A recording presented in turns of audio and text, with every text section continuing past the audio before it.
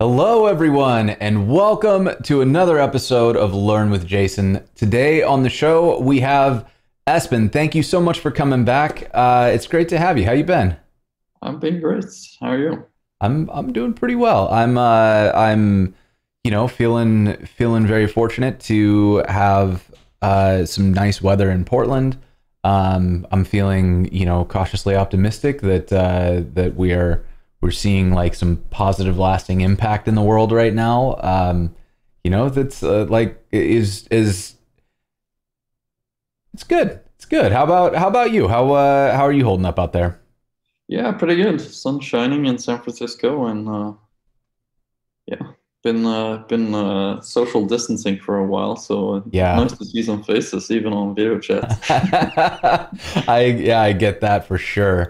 Um well, yeah. So, uh, so you've been on the show before. Um, we've talked about sanity, but for those who are not familiar with uh, with your work and also with sanity, do you want to do a um, kind of a, a, a high level overview?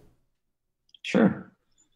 Uh, yeah, I'm Espen, and uh, I've been working at Sanity since the start of our little company that's been growing rapidly. Uh, we're sort of a content platform, uh, which uh, is a fancy way of saying that we have a database in the cloud where you can store all your content, and then we have a really kick-ass uh, like headless CMS that you can put on top of that to manage all your data.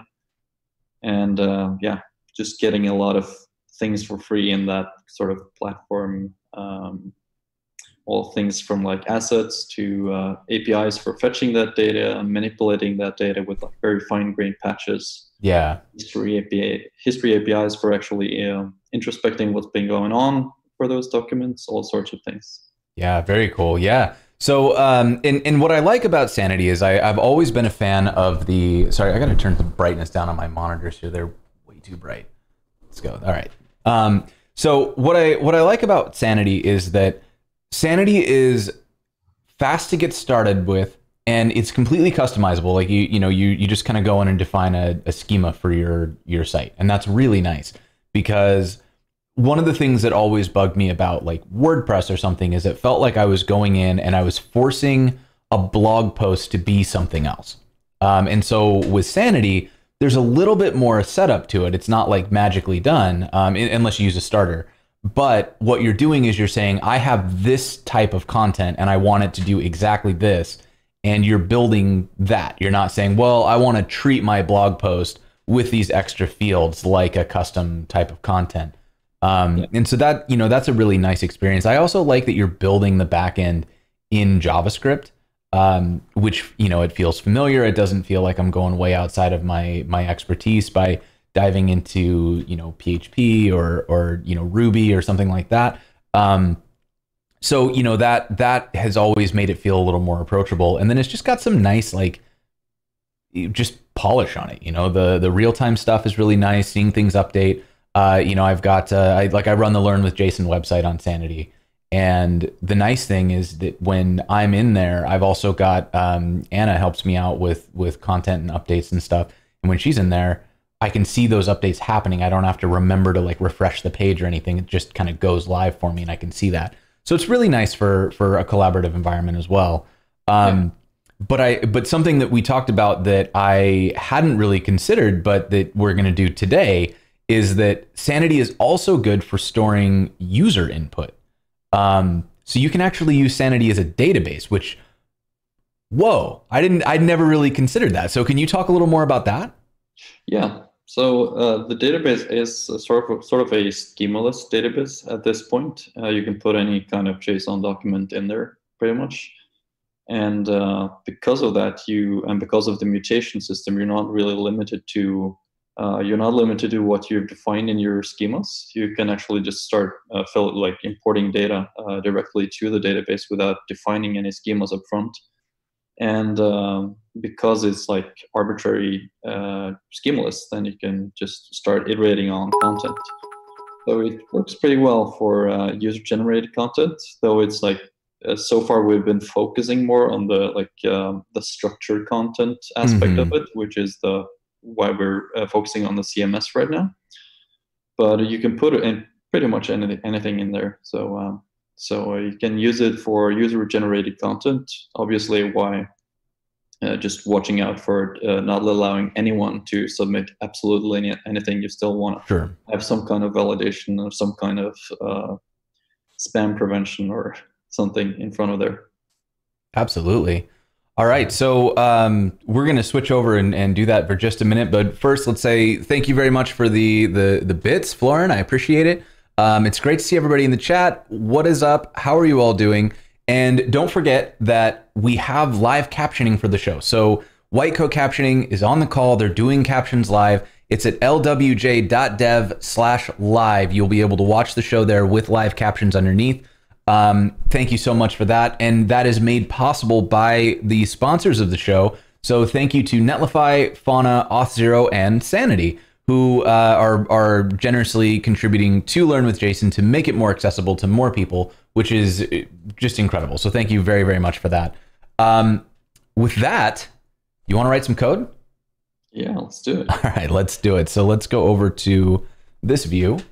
And uh, so this is this is Espen's Twitter. You should go and follow. Um, and Oh, so we would need to add code. Is that right? that is correct. We would need to add some code. Uh, and this is the Sanity website. So if you're unfamiliar with Sanity, go check that out. There's some there's some cool stuff on here. Um, but for a quick overview, we're gonna we're gonna dive into it right now. So I have a terminal. Uh, I've got my browser open. I'm ready to start. You tell me what would be our first step here if we're gonna start empty folder. We want to get a site up and running. Uh, the first part would be installing the the um, the Sanity uh, command line interface. So, Okay, uh, so I'm gonna npm. Yep. And at what Sanity slash CLI. Okay, so I'm uh, I'm doing a global install of the Sanity CLI. Yeah. Okay, and it looks like I've got version 1.149.16, which I hope is the the most recent I one. think that's the recent one. Yeah. All right, so let's. Uh, so now I'm in a folder here. Do I need to create a new folder for the project, or should I? No, you can just uh, you can just do Sanity init here, and it'll prompt you to where you actually want to place it. So, Uh oh. Unauthorized. Okay, so I need uh, to log in. to, uh, you might have been logged in uh, previously, so try doing Sanity logout first, Sanity logout. Okay. And then doing Sanity init again. Okay. All right. Pretty sure I've done this before. I am now logged in. All right. So here I go. Uh, I'll put it under. Let's create a new project. Actually, uh, we're gonna call this.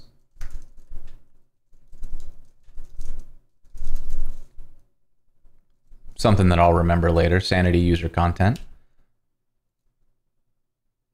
default dataset configuration. Is that correct? Yeah. So uh, at this point, I guess I, we should explain that because there are two modes uh, right now, which are either public datasets or private datasets. And uh, uh, public datasets basically means that anyone can query for uh, documents that are published within the dataset without using any sort of author- authorization token. Okay. Um, so in this case, it depends on what you want to put in there, but I guess we can start with a private dataset and then Do we? Actually, no. We want to fetch some data in the front end maybe later. So Yeah. actually, let's go for a public one. So yeah, okay. So do a default. do the default, creating a data set. Uh, my output path is. Hmm. If I just type a different folder name, will it be relative? Okay. So let's go sanity, user content, and can I start clean, or do you want me to start with a with a default? Uh, I recommend going with a blog just because it has a uh, it just has a schema, so it's easier because you have some kind of reference for the different schema types Okay. or what the fields look like. So it's just uh, you don't have to bounce back and forth to documentation uh, unless you're like really familiar with Sanity, in which case a clean project is usually a good idea. But Good. sometimes it's good to have some some kind of reference for those schema files. I'm, I'm seeing some uh, some flaps and some grows in the in the chat. Remember that you can you can run grow and it will grow my beard. Um, and if you grow it enough, there's a little treat that Cassidy built on that that stream. So uh, you'll have to coordinate though because you can only run grow so many times. Um, so you got to get in there, spam that chat, get in there. Um, all right, so now I have a, a sanity project in. It's going. It's all good. Uh, we got success. Now what? I like that. Uh, so I'm going to move into my sanity content. Sanity docs to. Oh wow, that's a that's a nice touch. I like that. Yeah. Good. I'm going to move that over into this browser so I don't lose track of it. Um, what else? We can do sanity manage to open the project settings in a browser. Um, we can explore the CLI manual and we can start. So, what would you recommend as the the first first start? Um, so I guess we'll need some kind of schemas, um, or figure out what kind of what we're building and what the, the content model should be. So, Yeah. So, chat, uh, we were thinking, what uh, what should we build today? Like, what wh- what is something that you think would be fun to allow? Like, here, so here's our goal, right? What we want to do is we want to build something today that before this episode is over, we can deploy and y'all can You play with. hackers, you you dirty hackers. yes. Um, so what? Uh, where are we? Did we get lost? Um, all right. So we yeah. So we need an idea. What? Uh, is- okay, guest book. That's a good idea. Uh, Knut, though, you're seeing the chat. You work at Sanity. That's uh, you, you can't that's teeing up ideas. Um, beard care products with reviews. what do we want to do as hackers? Adopt a party corgi. Ooh, I like that. Um, ooh, how would that work? yeah, do- Hmm. Hmm. If you wanted to adopt a party corgi, let's see. A recipe book would be cool. Um, a recipe book, I love the idea of that. That's actually something that I want to build. I'm worried that the schema for a recipe is going to be complex enough to take too long. Um, unsplash photos of corgis and fake names. Ooh, name suggestions for corgis. How about that? I like that. That's uh, with realistic bios. I'm into it. Okay, so I, I I like that idea because that'll be fun. Because what we can do is um like what if we we post a photo. So we we store a photo in Sanity of a corgi, um, and we'll grab photos from Unsplash, and then we can allow people to submit suggested names for that corgi. Yeah. Um, so that's kind of a fun idea. And then, hmm, am I getting too ambitious? Because what I'd love to do is have suggested names, and then people could vote on their favorite names. uh-huh. Uh, yeah, I guess we could try. maybe we invert that. So what we could start with is we have the the corgi, and then we'll come up with some suggested names, and then we'll let people vote on their favorites. And if we have extra time, we can allow for write-in submissions of names. Okay. Does that seem reasonable? Yeah. All right, let's do this. Um, I am very excited about this. So, uh, okay, so I've got my I've got my sanity project open. So by default, we've got a few folders here. Um, so it looks like we've got sanity start, we've got a test, some default dependencies.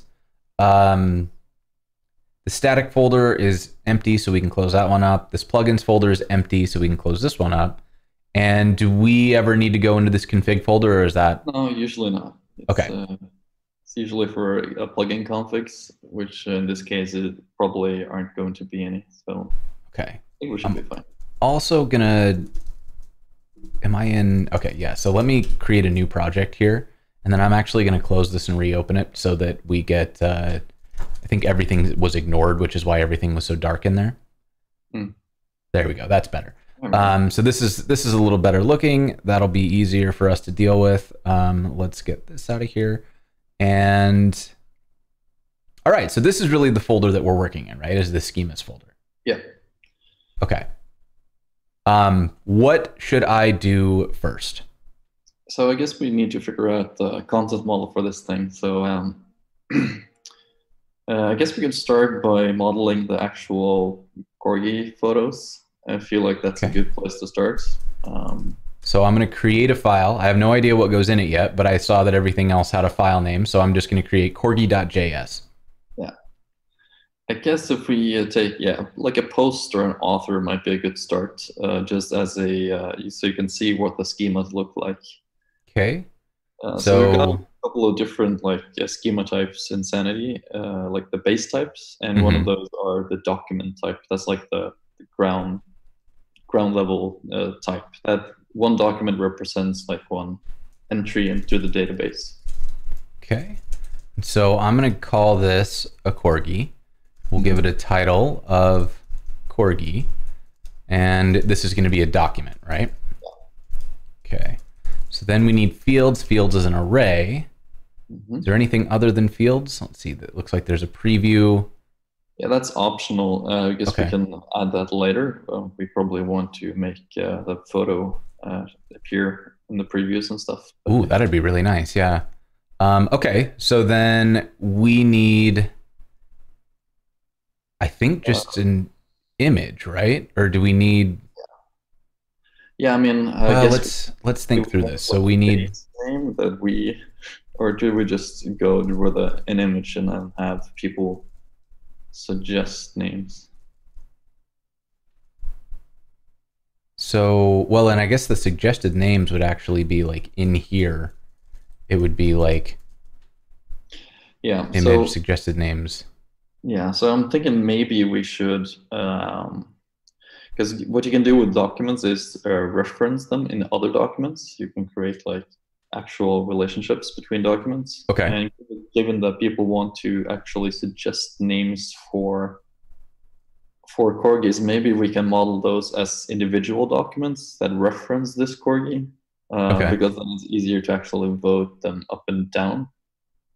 Makes sense. We could also just store it in an array here, but then we'd be modif.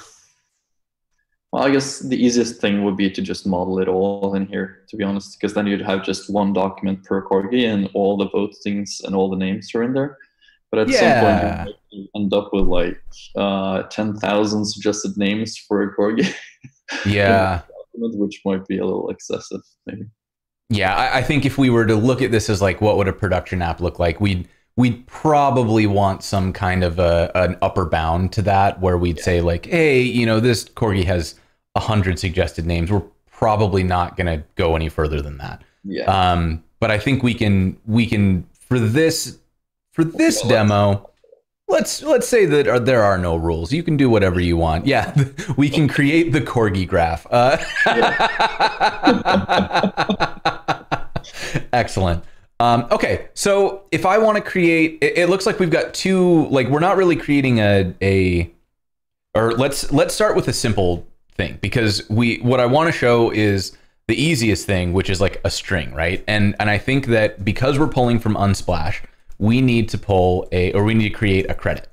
Um, so we will include a photo credit, and that will be a string. And so this is this is like the simplest thing, right? So if I start, or San, will Sanity Live reload the schemas as we as we write and save? Like if I get this running and then open Sanity, we can kind of save and see as it as it builds. Oh. Let's do that. Yeah, just need to open schema.js and make sure that you import this file uh, and actually include it in the types array. Okay, so we'll import Corgi from oops, Corgi. And then these we're not going to use anymore. We're just using those for reference. So Yeah. down here, I'm going to get rid of all of these. In fact, I'm just going to delete these. And we're just going to put Corgi in here. And then I'm going to delete these as well.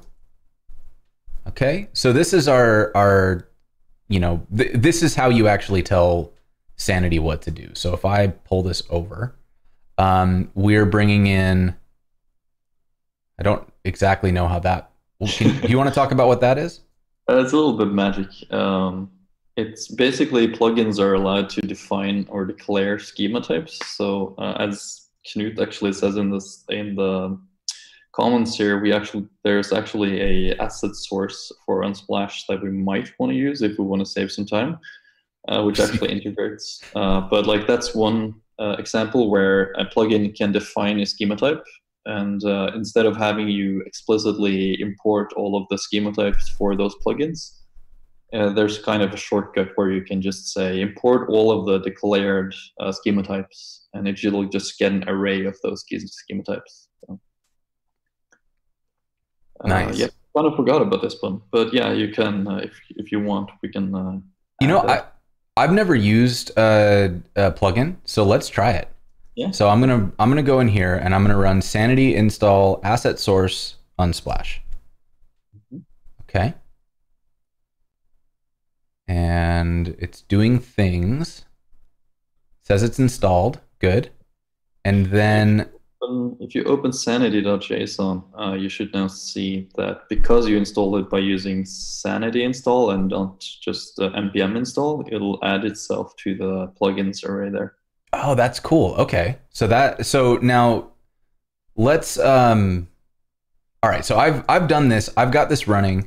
I'm going to start sanity. And I'm going to do that using I believe it was do I just run sanity start? Yes. Okay. So now we'll start up a. This is kind of what differentiates Sanity from most headless CMSs is that this is actually running uh, locally as a like client-side application. You can of course build it and deploy it uh, by just running Sanity deploy or Sanity build and and then host that on Netlify or any, anywhere you want. It's just static files. But while you're developing, you're running this local development server. So you'll see that uh, changes that you do to the schemas and stuff are reflected in uh, once you change do changes. Okay. So this starts with what we like this is what we created, right? We've got our photo credit. Um and so th- and this is what I think is really cool, right? Is that we so we created this content type of corgi and then you go in and you get a list of all of your corgis and you get your photo credits. Um and so if we go in and modify this, like let's just go mess with it a little bit. I'm going to create a new type and we'll call this boop. And it rebuilds, it restores, and it's right there. So this is really, really nice as a as a content creator. Um, I can go in and just say like, "Hey, I need a new field on this," and I just you know add, I copy paste a section of my schema, and it just immediately shows up. Um, and that like that is really, really nice. So All like JavaScript, you can also compose these in ways that's very hard to do in um, uh, other solutions because you can make like a function which takes some parameters and then generates a bunch of fields, or make localization localization fields by yeah just running functions and stuff. So it's pretty cool. oh, interesting. Look at the boops getting stuck up there. That's weird. I wonder Oh. what I did. I, I started uh, rebuilding the the boop thing because I've I've got a, a whole project that's um it's like tools for streamers and and uh, yeah it broke that one I guess.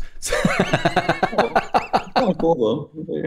Whoa! Look at I totally broke it. How did I even do that?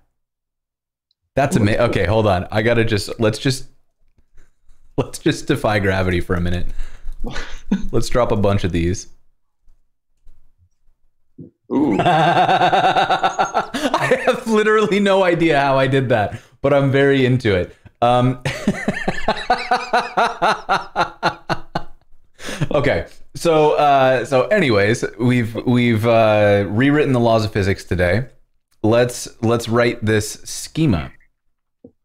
So I've got a photo credit, um, but it looks like we can use the the sanity plugin.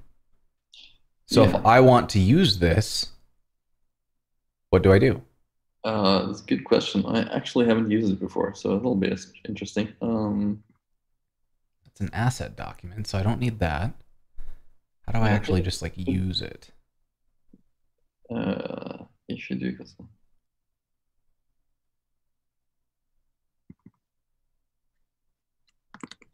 I uh,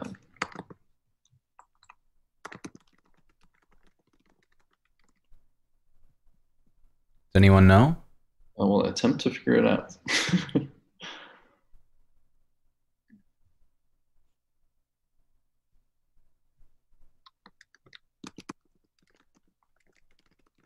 Um,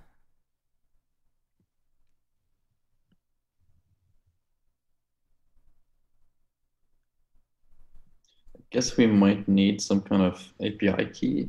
I don't know. Uh, or maybe you don't for this particular one. I, am not I- familiar with. I- do have an API key. It's all part name. No API key needed. Um, uh, Unsplash will come as an option for the image type. So we just do a regular image type. uh, I guess so. Yeah. Okay. Okay. We should probably update that. That those docs a little bit. with, uh, let's just start with adding an image. Uh, Okay. field. So if I want to add an image, I do, let's see, I think there's one in here. So let's, there's a main image. So let's call this name uh, Corgi image. And then we'll give it a title of Cor- Corgi. And then type image. And option, I don't think we're, we can just leave the options out, right? Like, because Yeah, we we don't, should start with this. I think it's. Uh, Okay.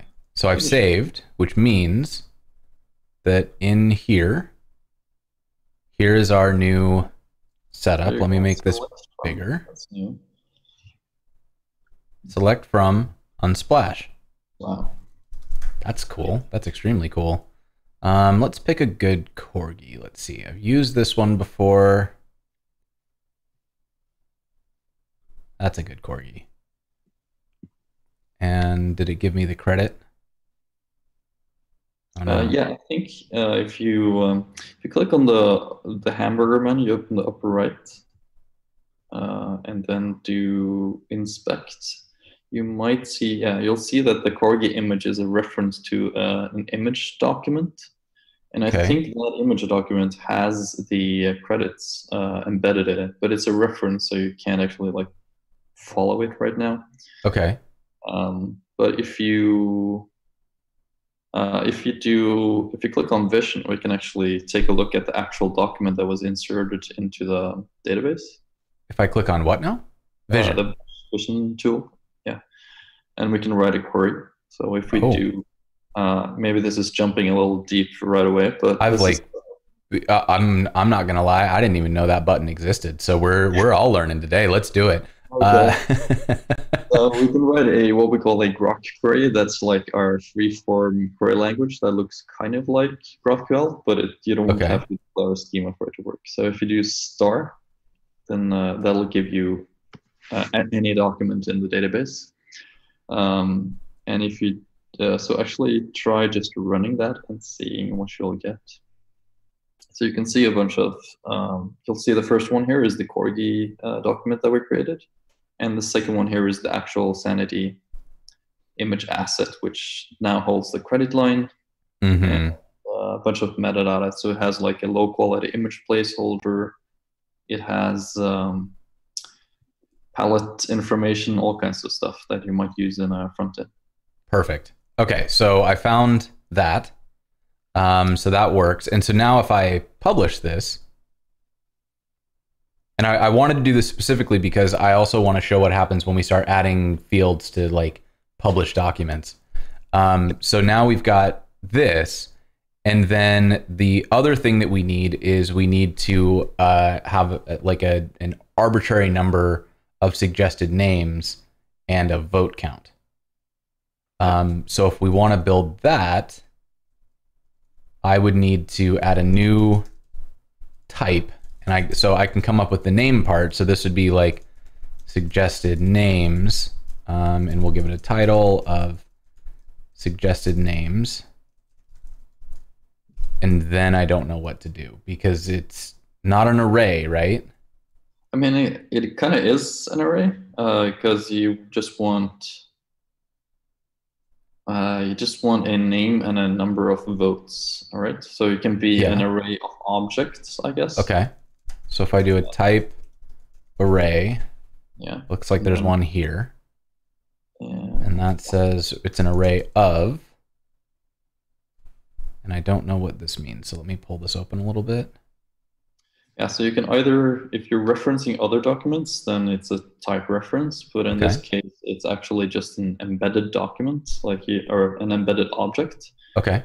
So um, if we want to do this in the like proper way, we make a new uh, schema type for that. But uh, just to short, if you just want something uh, right away, then you can actually just inline the type declaration here.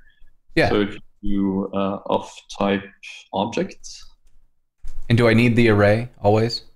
Uh, yeah. Okay. I think it'll work without it, but it's better for uh, because it's easier to expand if you want multiple types there at some point. And then do I need like the name and title and Uh, yeah, you need a name, name would be uh, suggested name, I guess. Yeah. I don't know if you need the title, but I guess we can we can see what happens and then um do I I set fields? uh, yeah. Okay. And so then the uh, the first one is going to be the name, um, which is the name. Title would be name, and the type is a string. Okay. And then the next one would be votes. Title is votes, and the type is is it number? Yeah. Okay. All right, so let's see if that worked. Suggested name. So I'm going to add a name and we will call this What do you think, chat? What's what's the right name for this corgi? Maybe we should name it after the person who suggested this whole corky thing in the first place. Oh, Frank is the suggested name. I don't know. I think I I think I like that Crispus corgi. So we'll start with we'll start out with one name. Uh, okay, then we've got Frank and Roger. Okay, so the, that's three suggested names.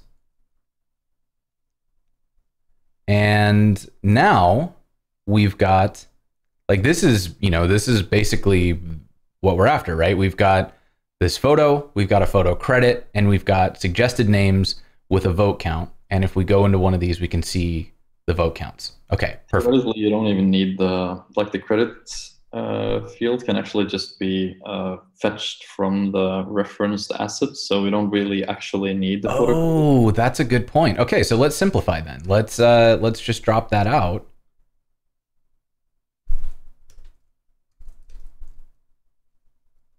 You'll now see that you have a field which is not declared in your schema. So if you go to Mhm. the here, you'll see that it found an unknown field. So you might want to uh, just unset that. Just get rid of it. So, and this is another thing that I think is cool is like I literally just deleted data, right? And instead of just forgetting that it exists, Sanity is letting me know, hey, you just got rid of some data. Are you sure that's what you meant to do? So I could go back and re-add this field if I wanted to to pull the data back in.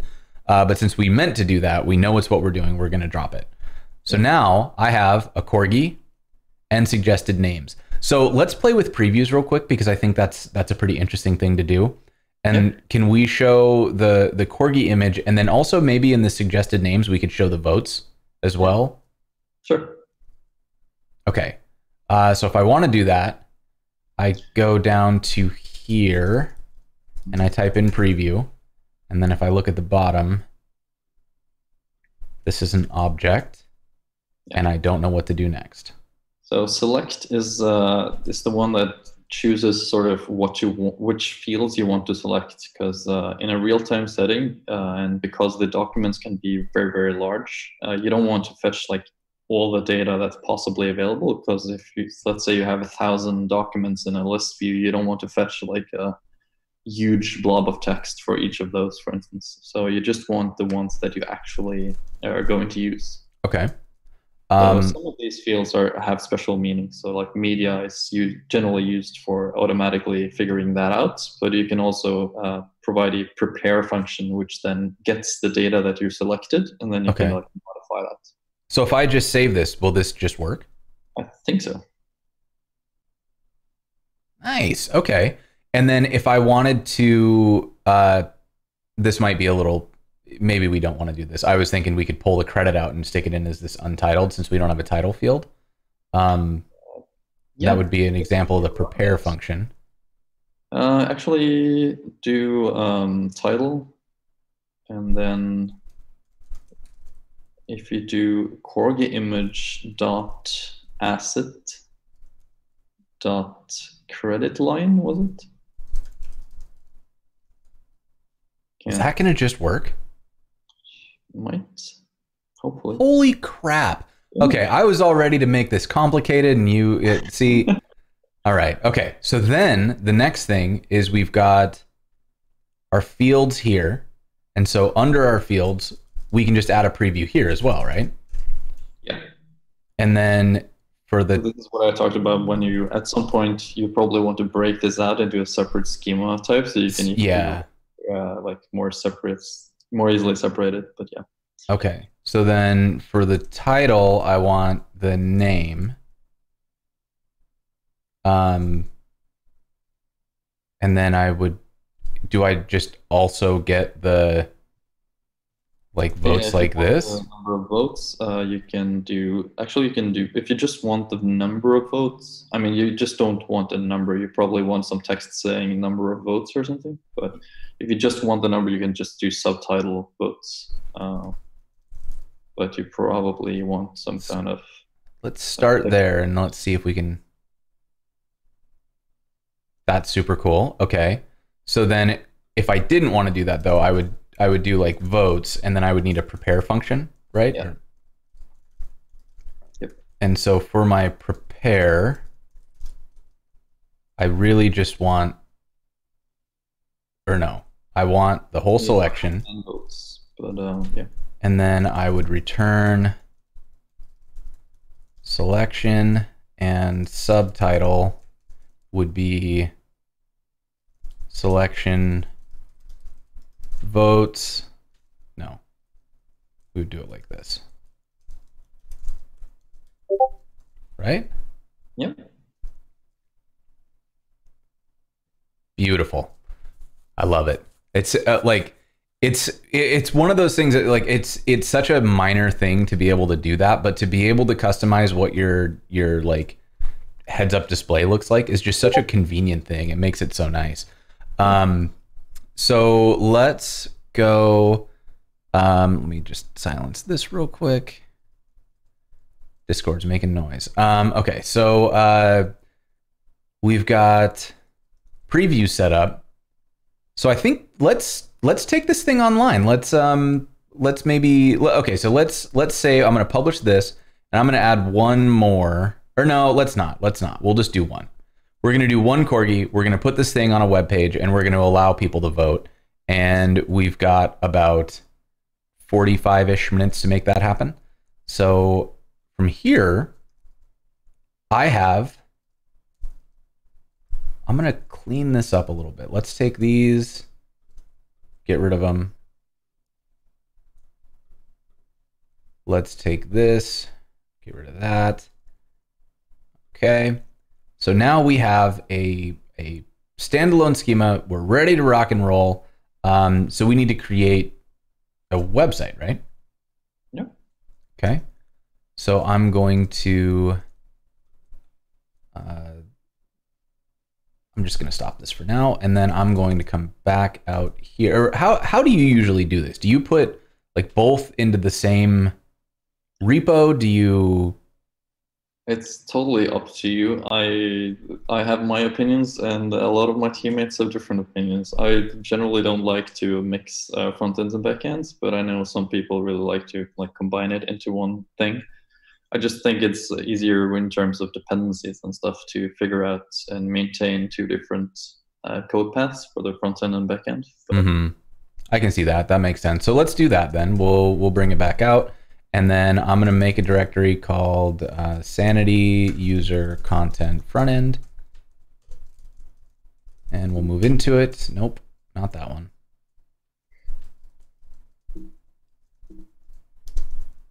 Okay. And then in here, we will git init. Um, let's change that. How do I do this? Git branch move. Nope. Git. Um, Oh, here it is. Git checkout b main. There we go. All right. So now we are in a uh, a brand new repo, and we can. How do we want to build this? Let's build it with something simple. Oh, I oh hold on. I did a whole thing for this. I have a I, I have a whole, whole new repo that I'm really excited about. Um, I built a demo, like a demo base for uh, for demos and stuff. That is just it's kind of it's like a template repo, right? And so I'm going to create a new copy, and we'll call this uh, Sanity User Content Front End. Um, we'll make it public, and I'm going to create a repository from template. And that is really cool. very cool. And now, if I copy this, uh, let me actually just go back out. We're going to remove front end, and then I'm going to get get clone. Then we can open this up as well. All right, so demo demo. Um, so in here, what this basically did is it took, uh, it just it like gives me a a plain slate where we can write whatever code we want in here, add styles, and we can add scripts, um, and then we can we can call this whatever we want. So let's do sanity user generated content, or actually, let's make that into a real sentence. And this will be sanity user content front end. And I'll deal with the rest of that later. So we can just drop these. Okay. Drop that. All right. So now from here, we're we're pretty much set to do whatever we need to do. Um, and this is all set up to run locally uh, so that we can build whatever we want. And if we do something like this, or actually we'll just do, it's a liquid template, right? So we can say uh, user generated content in Sanity. All right. And then let's start it.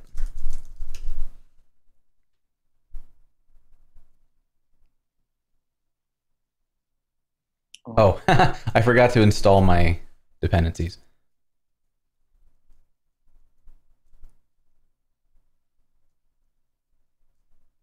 Here we go. Here we go.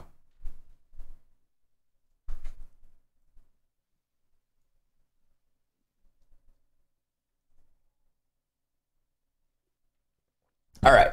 So now we have a running demo. Look at that. It's beautiful. Beautiful. Um, so I'm ready to rock. Let's uh, let's let's make a site out of our our corgi image, and we're gonna do that by what we want to start by probably loading the data, right? Yeah. Okay. So we've got a Sanity client. I would recommend using that to, to Okay. get started.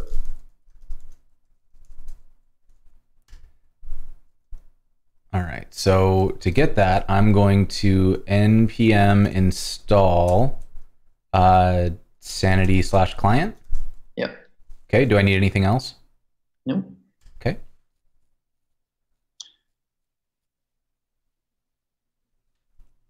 And then is this going to do the fetching, or do I need like a fetch? Oh, that'll do do it all. It'll Okay. do fetch and all kinds of stuff. Excellent. All right. So uh, I'm assuming we're doing this in a serverless function, right?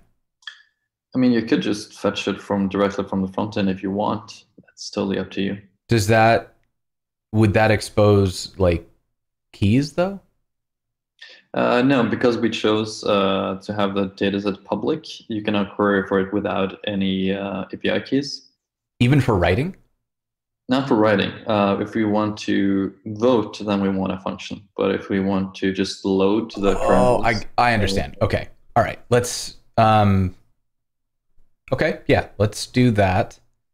I don't. Okay, so the, is the Sanity client React based? Uh, yeah. Okay. No, the client isn't actually. The client is totally agnostic, so they can use anything you want there. Okay. I am low key convinced that this isn't going to work with this demo because I don't know that I can just like import uh import Yeah, any front end. I, I don't know if I can import node modules. I should probably test that. Um let's let's do it in a function because I know for sure that'll work and then I'll figure this out for future demos to make sure I don't break things. Okay. Oh wait. Oh, Knut's go- got us. Knut's got us covered. Let's do it. Um, he found data fetching in Sanity for Eleventy, which is what the demo is based on, and so we can just pull it straight in. Excellent. All right, so we're going to create a data folder, and inside of it, we're going to create corgis or corgis.js, and inside of that, we don't need block content. Um, but we do need the Sanity client, which it looks like is configured elsewhere. Yeah, it's probably just uh, set it set up with some um, uh, project ID and dataset. I assume that's usually how it's done. Okay. Cool. So we're only going to have the one. So I'm probably going to set this up in the same project. So let's get um, Sanity client equals require Sanity client. And then we get the config. Yeah, we can just hard code that for now. But yeah, you can just do Sanity client and then uh, Okay. Then you need the project ID and the dataset. Okay. And So those I, are located in the if you go to the studio folder, you'll see the sanity JSON file has um, Um, so sanity client, and then we need some config. And you said the uh, Uh, sanity JSON. folder, Here we go. There, yeah. So the API section there has the data set and product. Yeah. Okay. So I need uh, those values. And then you can also set use CDN true. Uh, that'll stop it from complaining because you haven't uh, decided whether or not you should use the CDN. Okay. Use CDN true. And then do I need? I don't have a token Because you don't really need that token right now because you're only Okay. fetching data for a public dataset. So, uh, but if you have a private dataset, then you want to set up uh, some kind of token to be able to read those things. got it. Also, have drafts that you want to read from, then you also need a token. Oh, okay. I get It it. I depends get it. on how you how you model this. Um. Oh boy. We um. Well, this is very like this is a big query. You don't really need that whole big query. You just need client.fetch and then give it some query, and uh, that'll give you the data that you want. So I can guide you through actually. client dot fetch and then the query The query is uh, for fetching all corgis. That would be a star, uh, so a string that has a star and then a bracket like square brackets. bracket uh, and then say underscore type equals uh, corgi or double equals corgi. Sorry. double equals Yeah, and uh, corgi has a string, so uh, like double quotes around the corgi. okay So that will get all corgis, and that will return a promise. async function load corgis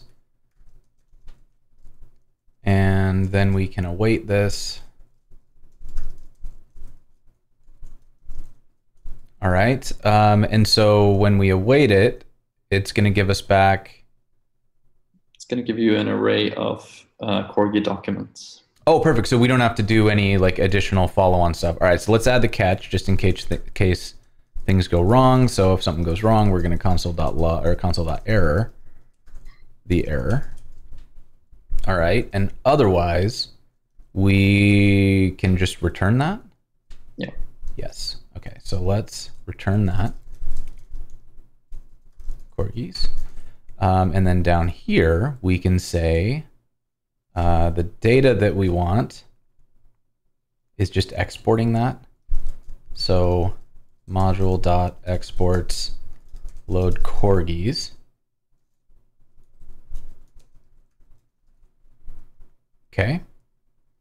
And then in here, we should be able to just get those posts so we can go up into the sanity stuff, just look at the posts, which are going to be somewhere around here, probably archive. Set post list is collections.mypost. So I think what we can probably do actually is do like a um, for corgi in collections corgis. Uh, and then we can just like pre. Can I just JSON stringify this? Let's look at the post list.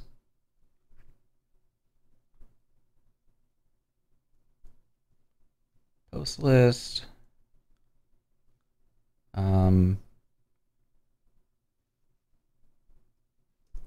Uh, we just we know what the we know what the data looks like. So let's just put um, do like an image source equals uh, corgi dot corgi image dot asset dot crap. Do you know what that one's called? Actually, asset is um, asset is a reference. So if we want that to be um, um, sort of if we want the entire asset document, we actually have to modify the query a bit to actually follow that reference. Um, so if we go, I think we need to go in and modify the query for a bit. Okay. Uh, so let's go into corgis.js. Yeah. So uh, now you're stuck with a raw like Corgi documents, and what we need to do is add a projection. So to specify which fields we want uh, to fetch from that, and do any kind of like follow any references that we might need. So if you add okay. a curly brackets at the end of that, like this. Yep. And then uh, if you can you can select all the fields of the of those documents by doing dot dot dot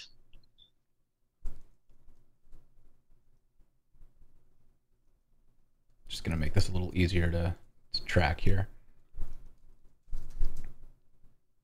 And then if you do a comma and then a new line, then we're saying uh, we want all the fields, and then we want for the asset field. Oh, sorry, the what was it? The Corgi image field. Yeah. So if you do Corgi image, uh, and then a new square bracket. Uh, sorry, um, curly brackets, and then do uh, dot dot dot and then colon or sorry comma and then asset and then an arrow which means it'll uh, follow that reference that's in the our single single arrow. Like that? Yeah. So that'll say it'll follow the s or materialize the asset reference. So that should work. Okay. So i'm going to just log this because I am yeah. not gonna lie, I'm kind of like mystified by what just happened. So let's stringify corgis null two. All right. And then I'm gonna come out here to show you inside of the studio at some point. Oh yeah, let's let's do that. Let's uh, let me open another tab, and then let's go into uh, learn with Jason, and it was the sanity user content, and I'll sanity start. All right.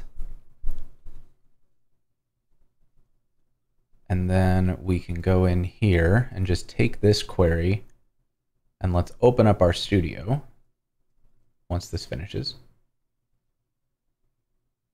There it goes.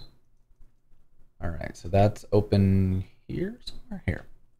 All right, so I'm going to go back to Vision. I'm going to run this query. Yeah. So if you do, yeah, so now you'll see that it has the Corgi image now, if you expand that asset, that has the entire document.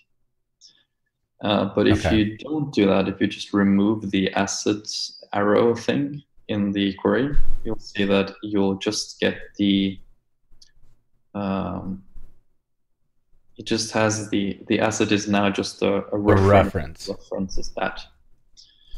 That's the and then of course if be, behind that arrow you can also choose to do another projection. So if you just want the credit line and not like all of those uh, fields which you might not use, then you can do like in projection and then just say credit line. So I would want the credit line, and I would also want um, this URL, right? Uh, you need a um, uh, comma after credit line. So I get my asset, I get my credit line, and my URL. Okay, that's nice. I like that. Um, and then I also need, really in here, all I need is the like the suggested names. So that simplifies our result, which is nice. Yeah. Um, so I get the image, I get the suggested names. That's great.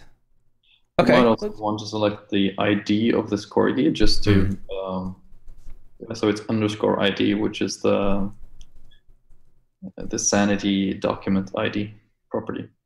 Got it. Yeah. Okay, let's let's take that back in and run it.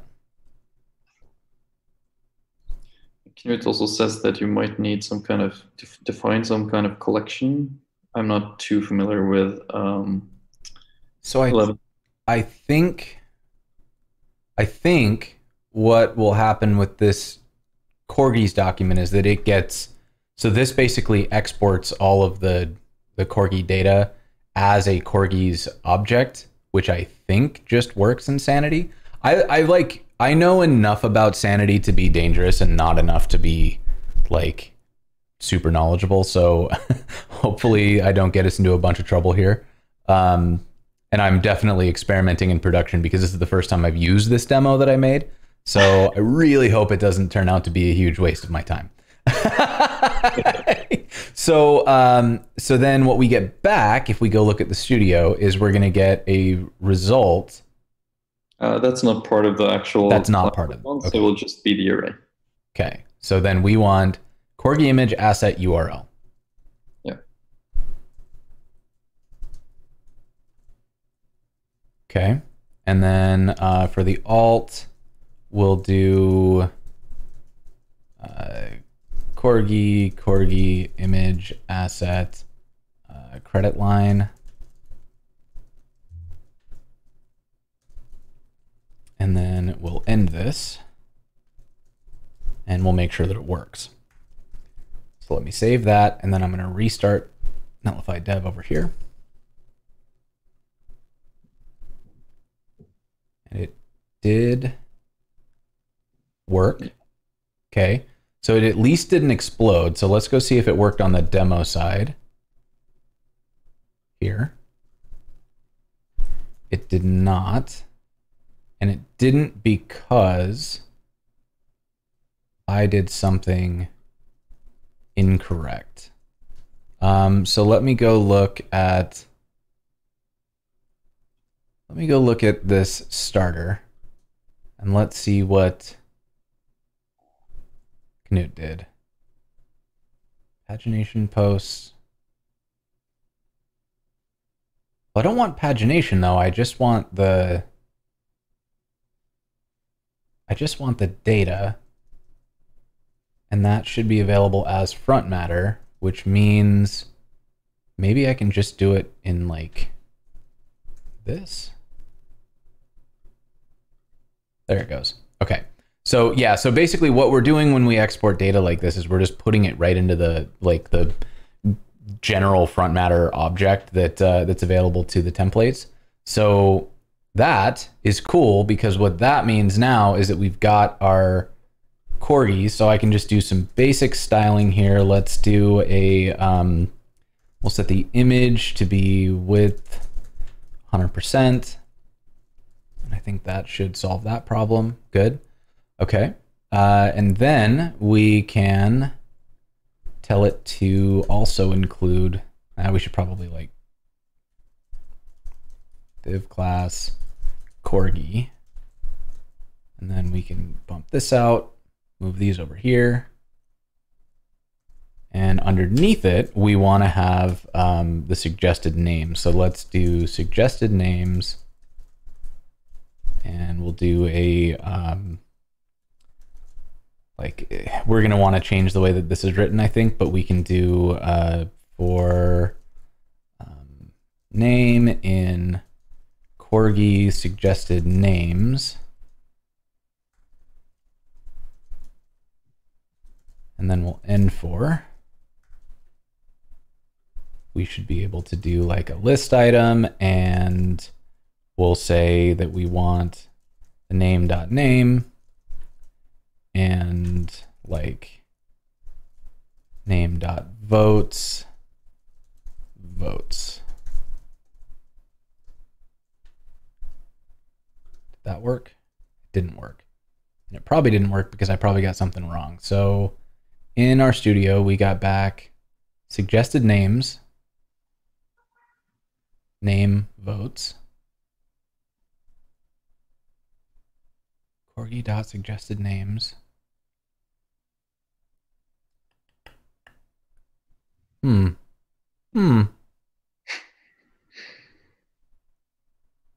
Did it? What if I just like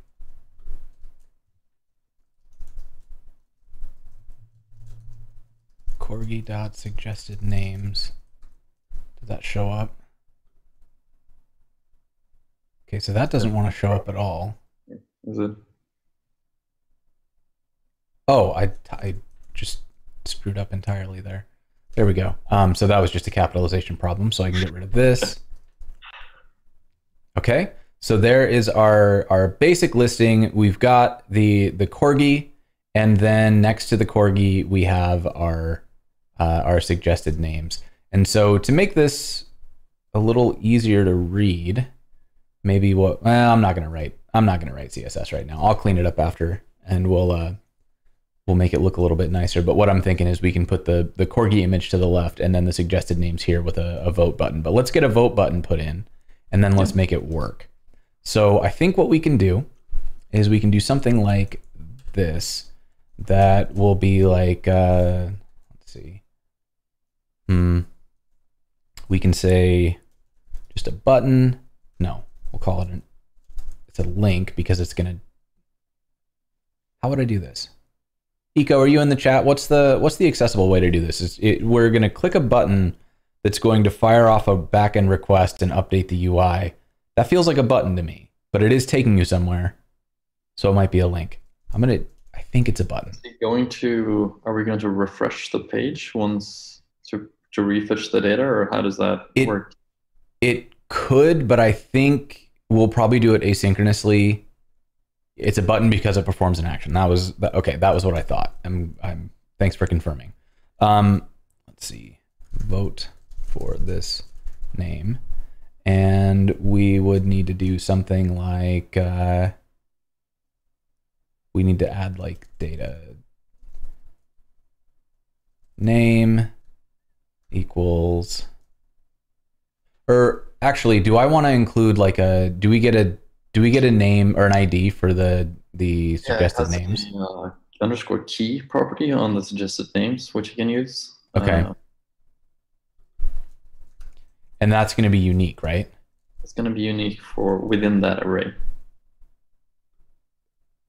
okay so i would still need the uh the like data id is going to be corgi dot id Yeah. okay. Did i miss something? I did. Nope. There we go.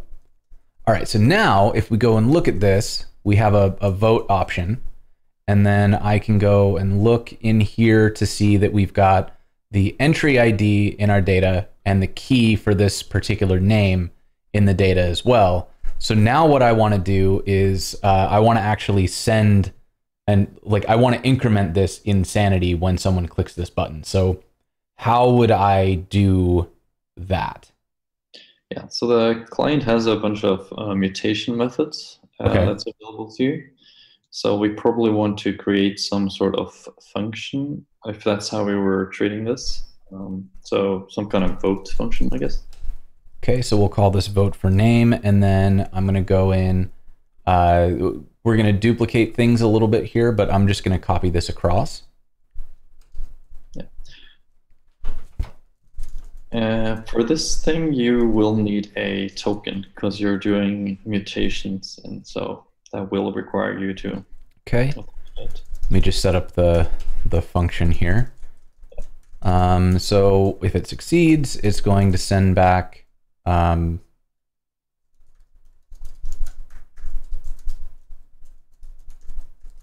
we should send back the total votes.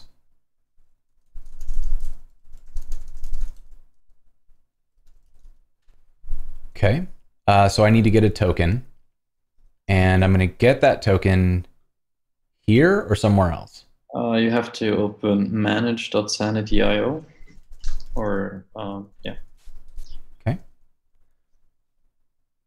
Uh, we'll add this to the CLI at some point. We have just haven't gotten around to it yet. Okay, so this is also cool because it um, it like automatically created this in the hosted instance as well uh, which I think is pretty cool. So then I'm going to go to settings, I assume. Settings and API. API. Okay. should We've, be a tokens here. So we'll have to add a new origin when we deploy, but for now I'm going to add a new token. It's read only, and this is going to be, or no, it's going to be a write token. So we want to be able to write and um, vote for names. Um, probably want to pull this off screen, don't I? Yes. I'm going to add this token. Okay. So I have now gotten my token and it is uh, in my clipboard. And so I need to add a environment variable, which I will do in Netlify. So um, this is one of the things that I really like about this. So I'm gonna I'm gonna Netlify open and that's going to open my Netlify dashboard, which it opened in the it opened in the wrong window. I'll open it over here. Um, so I'm gonna go here. We've got our new site. Oh, I haven't I haven't created this site yet. Is why that's not working. So I'm gonna Netlify init, and I'm gonna create and configure a new site. I'm gonna put it on my own. Uh, and we wanted to call this sanity user content. Okay, so we've created a site. Uh, our build command, we're just going to leave these because the Netlify TOML actually does all the work for us. Um, okay, that's all set. So now, well, I'm already here, so I'll just refresh the page. So here's sanity user content. I'm going to go into my settings, and I've got my build and deploy and environment variables.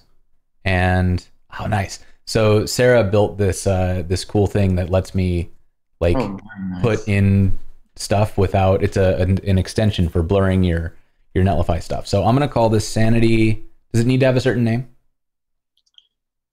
Uh, not really. I mean, it depend, depends on your environment, but I guess for Eleventy it doesn't matter. I guess. Yeah. Okay. So then I can save that. Cool. That's saved. So I'm going to close it. And then if I rerun this, now it's pulling in that environment variable locally because I'm I'm logged in as me. So I don't have to deal with environment variables. I don't have to deal with like setting up a .env file. I can just put it on Netlify and I know it's going to work. Um, and so that means that here for our token, what's this one called? Token. It's just called token. Then I can do process.env.sanity API token. Okay. Um, so then we are now able to do a write operation.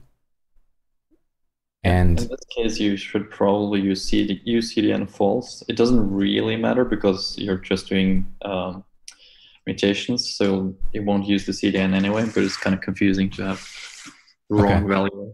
Yeah. Okay. So um, yeah, you're gonna you're gonna send the uh, corgi ID and the key, I guess, to the to the function. Mm-hmm. So we're gonna get the um the corgi ID and then I'm just gonna call these corgi ID and name key. Um, and those are gonna come out of you or let's see, JSON parse event.body. Okay, and then we need to send those off. And so to do that, we're gonna do what? Client dot So you've got a patch method that takes a. Um, I was confused that you won't don't get any sort of. Uh, So Touch. I have I have turned off a lot of the auto suggest stuff because VS Code gets so helpful that it's sometimes hard to live code. Uh, my my other VS Code instance has all that stuff, but for because so many things pop up, it can be a little hard to track what's going on. So I've disabled most of it. so the first argument will be the document ID, so that will be corgi ID. look, look, chat. I am not. No, I. Vinny says I miss the days when I used to give out all my keys. I'm not doing it anymore. I'm getting secure, right? Like the we're running a professional shop over here. Um, that plugin to blur environment variables, 100% yes. You can uh, you can find that. It is um, what is it called? It is. Let's look at extensions. Um, Chrome extensions. It is called Netlify Masker, and uh, and Sarah built that for uh, hiding environment variables. So if you need it, go get it. It's in the store. Um, all right, so back to this. We're you said the first thing is just the corgi ID. I don't have to pat. It's not like named. It's just a, the ID is what I'm setting. Yeah. Okay.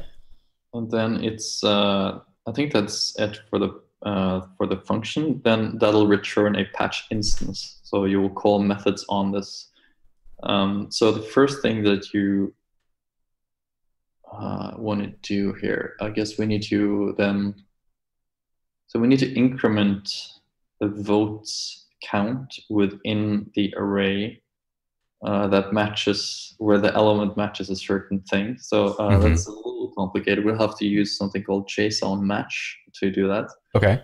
So uh, we'll say uh, the method is inc, like increment, Okay. And it- that'll take an object. And then uh, the value here, or the key here, will be the attribute that we want to match. So um, that will be suggested names, Oh. and then it'll be Right. uh, no, because suggested names is a is an array. So we need to figure we need to find like the specific uh, key or element within that uh, within that array, right? Right. So yeah. So that was kind of what I was. What I was. Uh, should we go in here and try to write this? Um, I don't think we can, but uh, it, it's pretty. Uh, it should be straightforward. It Okay. should be uh, suggested names and then brackets like JSON notation for yeah, and then where underscore key. Uh, or not where, just like uh, sorry, I'm pseudo coding in my head. Oh. Just Okay. underscore key uh, equals equals and then double quotes and then you have to sort of inject the name key here so you probably want to use one of those uh, hmm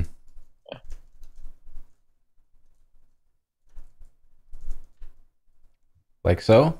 yeah and then uh, one as the because you want to increment it by one Oh, okay. So so we're basically saying, well, that's kind of nice that it just does that. Why doesn't it like this? What did I miss? It just like, what are you unhappy with? This is an object. Let's look at the console. Property assignment expected. That's what I did. Am I missing something obvious? Are you? Oh, right, because it's a yeah unique bracket. Yeah, Oh, I got it. Okay. Yep, that makes sense. and then this will still be returning the patch instance. So in theory, you uh, might add like multiple uh, patch operations to this. but since we're done with this now, you can do dot commit to actually send this off. Like that. Yeah. And Okay. uh, the commit method has a couple of properties. Uh, you can just call it like this, and that'll wait for it to actually be uh, uh, sort of stored and uh, be available to the search store. hmm So that's, that's a good default. And that'll return a uh, promise. So uh, you might want to await that, I guess, before you actually do the response, just in case. Uh, Is it going to give me back the updated object? It'll give you back the entire document at this point. Okay. The entire document being the the individual corgi that was updated? Yeah. Okay. So if I get my corgi, then I should be able to say um, let's get the votes uh, new votes equals corgi dot suggested names dot find and then we can do the name key equals name key. And then we can return new votes. Uh, dot, is that right? I guess. what's that? Dot votes, I guess, because uh, now you. oh yeah. Yes. Good call. All right. So now we have the new votes total. Um, we're returning that as total votes and calling this we need to pass in the corgi id and the name key so in here i need some javascript so let's write a function that is update vote, or I guess send vote. And that is going to take, it's going to get an event because it's going to be an event handler. Um, and we will event dot prevent default. And then we need to get these values, and those are going to be um, You know, uh, I saw a minute ago that Eco suggested making these into just a full-on form, and that's actually a really good idea because what that's going to allow me to do is uh, is put in instead of using data keys, I can do hidden inputs. Oh yeah. Uh, name is going to be what was it? Corgi ID, and the value would be name key. Uh, corgi.id. Oh, yep, wrong one. Yeah. Okay, so let's that one in here, and then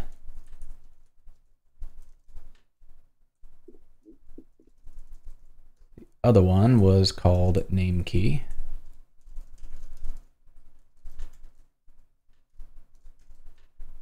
Okay, so now we will be able to um, handle the submit action for these forms. Okay. And inside of them, we will be able to, uh, we'll get, let's see. So we'll do like the const uh, data equals new form data event dot target, and then we can get the corgi ID and the name key from data. No, we can't. Not like that. We're instead going to do it as data.get corgi ID. And same thing here, data.get name key. And so this is this is the uh, the form data API, which is awesome. Learned about it from Suz Hinton. Um, and that means I can also get rid of this. Aha. All right. So now we have the ability to submit these. So I need to then send it off to something. So I'm going to use the fetch API.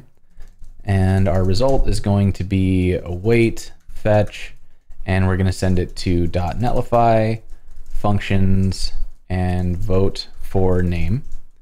And what we're going to send is a post.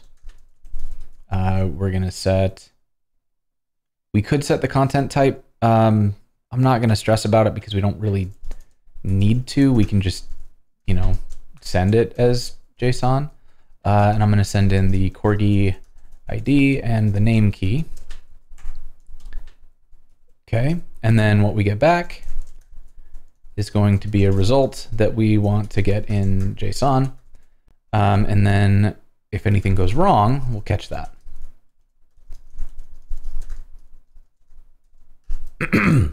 All right, so then uh, from here, we would need to update our thing.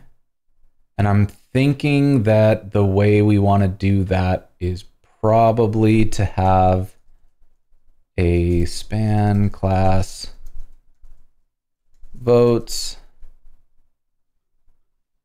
so that we can just update the inner text of that vote.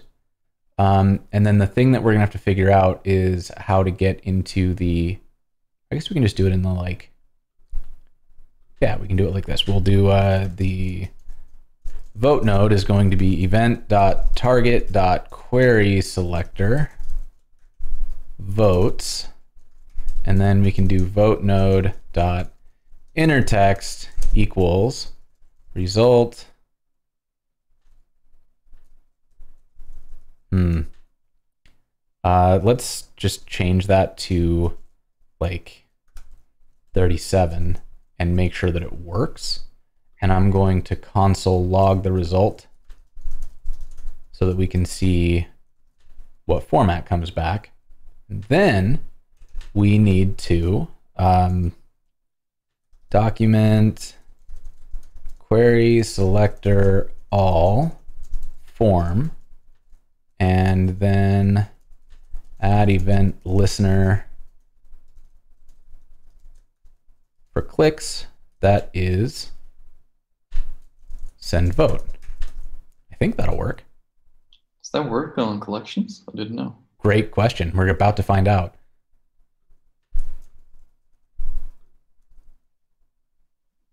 Nope, it just sent that off for everything. No, wait, that's that's all something else. What? Yeah, you can't. Okay, so that, I was wrong. Um, so instead, we'll do const forms equals, and then we need to uh, this isn't. Can you just iterate like forms dot for each? Uh, yeah. That doesn't seem right. I guess. I never remember which. I guess it's an iter- iterable thing. Yeah. Oh, you have a for each. Yeah, it should be a for each. Is that gonna work? Let's see. so. I hope this works. Um. So let's fire off a vote and let's see what happens. Uncaught. Failed to construct form data. Parameter one is not of type form element. Yeah, Eco, I'm still going to have to loop because I'm going to have, like, if there's multiple corgis, we would have multiple forms. So it still needs to kind of define the given thing. And then I, yeah, the, the radio I think would be a pain in the butt. So oh, instead, a click should be a submit, right? Because now you. oh, yeah, absolutely. Yes, yes, it definitely should. Okay. Okay, so we got closer. Got a, a not found for vote for name, which I think maybe I need to stop and restart because we added that after we'd started the function. Let's see. Let's try it. It did update, so we're we're close. Yeah. Still doesn't like that vote for name. It doesn't like vote for name. Functions vote for name. Are you running? Function server is running. But vote for name, did I typo something? Do you have to actually deploy or anything for them to be available? Oh, I opened the wrong server, is why. Oh. Okay, so then we get back total votes equals one. That is dope. Okay, so yeah, this is great. I'm so excited about this. So now, now we have uh, here, we can set this to result total votes. Yes. Okay.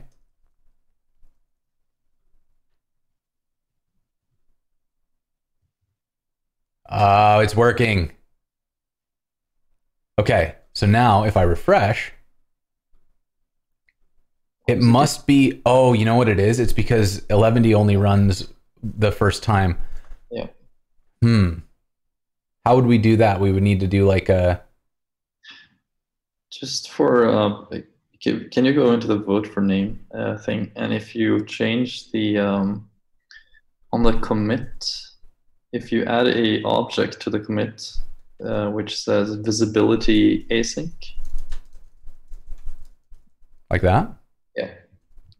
And save that, then it should should be returning a little faster. Um, so it should be less sluggish on the Oh, nice. Yeah, that's that's nice and fast. Yeah. Um. Okay, so then the other thing that we would need is like a a client side query for the first time that we load to get the latest vote count.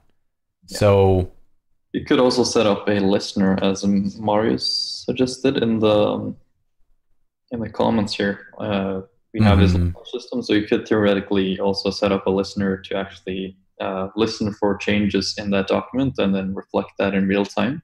Yes. Okay. Uh, so it it sounds like we probably want to do a follow up to to dig further into this. Uh, but because we're basically out of time, what I'm going to do is I'm going to deploy this.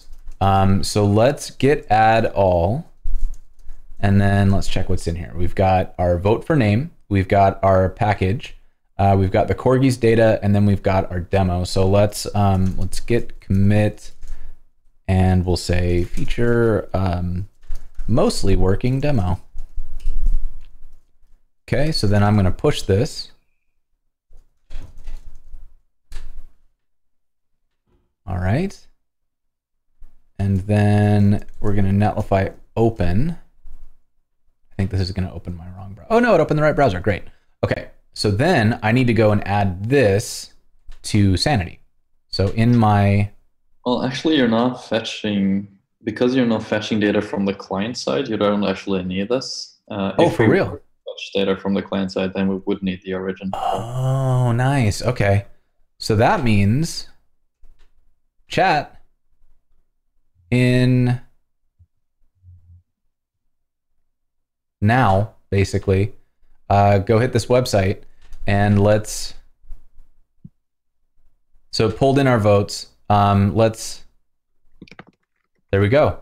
So now we can see that people are voting that aren't me. Um, and so whenever I.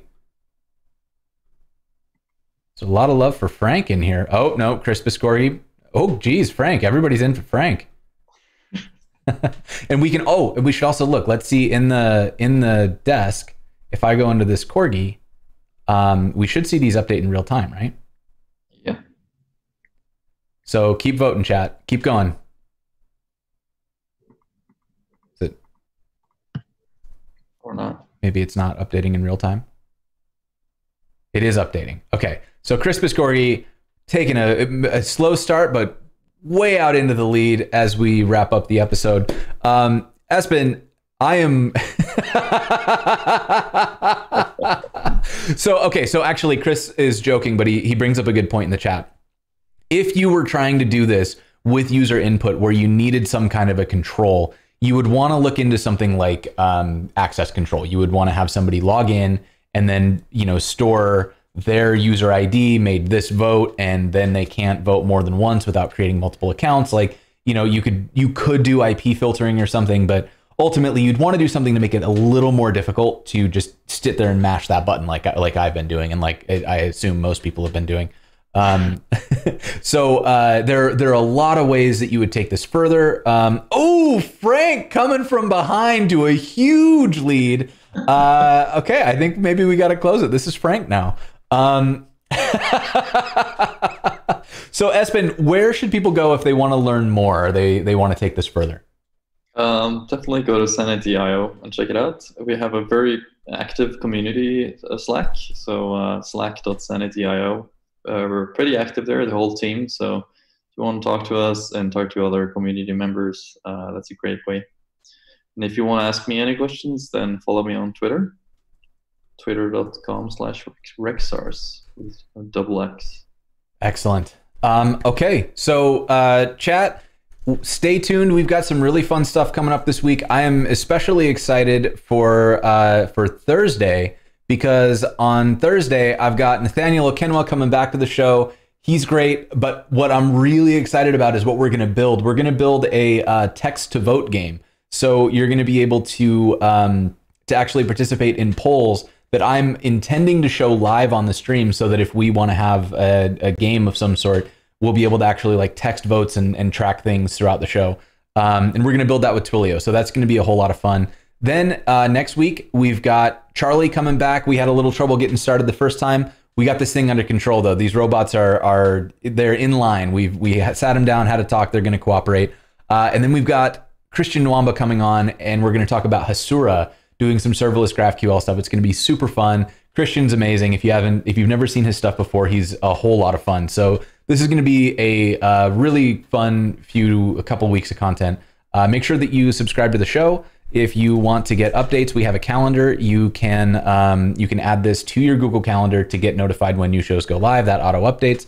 Um, Thank you again to our sponsors, Netlify, Fauna, Sanity, and Auth0 for making live captioning possible. Live captioning is handled by White Coat Captioning, so thank you very much.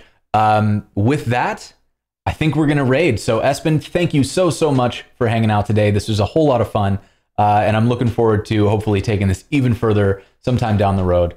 Um, yeah, a lot of me be on. It's been fun. Chat, as always, thanks for hanging out. Stay tuned. We're going to raid. Espen, thank you. We will see you next time.